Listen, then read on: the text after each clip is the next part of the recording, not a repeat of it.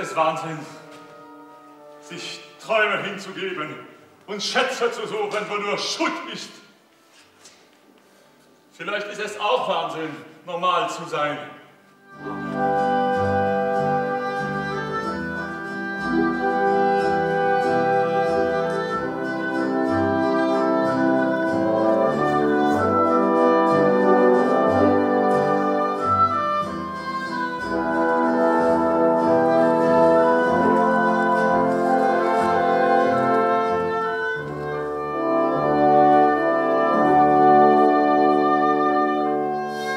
you